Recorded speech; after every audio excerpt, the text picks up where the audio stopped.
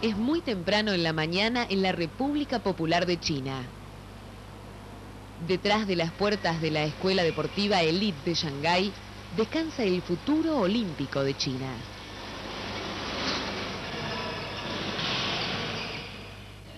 Dentro, pequeños niños de 6 años en adelante fueron elegidos por tener facilidad para el deporte.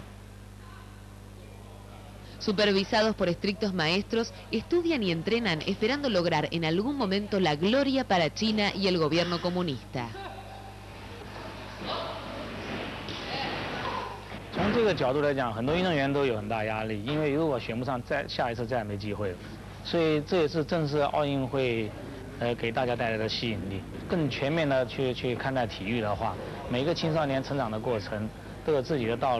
从这个角度来讲，很多运动员都有很大压力，因为如果选不上，再下一次再也没机会了。所以这也是正是奥运会，呃，给大家带来的吸引力。更全面的去去看待体育的话，每个青少年成长的过程都有自己的道路。那么这种过程来讲，他即便不是一个，呃，奥运会冠军或者有机会参加，不过他这种追求精神，带他对他以后成长以后的工作和生活都是会有。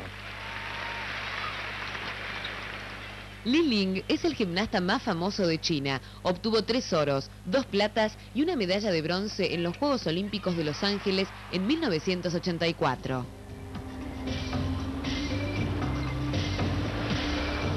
En Pekín, la capital china, los Juegos Olímpicos están en boca de todos.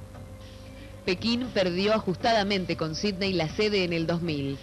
Ahora está lanzando una segunda y más poderosa candidatura para llevar los Juegos a China en el 2008.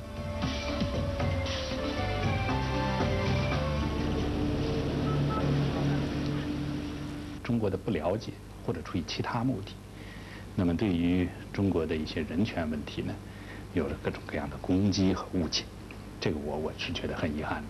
当然，中国呢是在一个是还是一个发展中国家，那么在人权这个方面呢，确实还有一些呀需要不断努力的加以改进的方面。我们也愿意和世界各国的各个方面呢，在这方面进行对话和合作。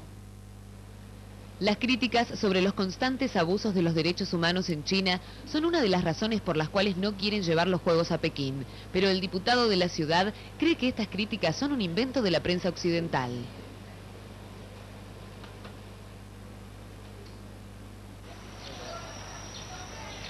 En el centro de Pekín, los gimnastas chinos de nivel elite siguen buscando el camino hacia los próximos Juegos Olímpicos.